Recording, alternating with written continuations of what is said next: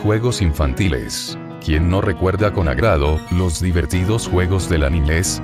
Entre los que conservo en mi memoria, están las peligrosas coleadas, que la fuerza cinética hacía volar al último de la fila. El burro tamaleado, que fracturaba columnas vertebrales y solo practicaban los más intrépidos. El burro saltado, con sus 16 frases, que pocos sabían. El stop, que declaraba la guerra en contra de los países participantes. El avión, que salto a salto, en un solo pie, se concretaba la ida y vuelta, lanzando la teja de papel.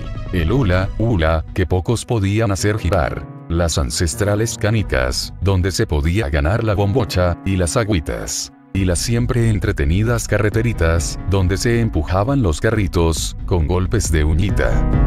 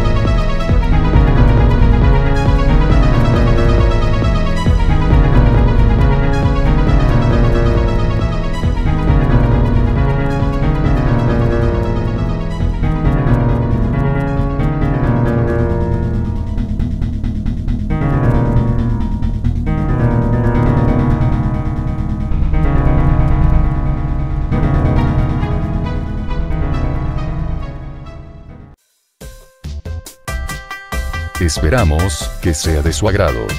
Julio Ferrá les desea lo mejor.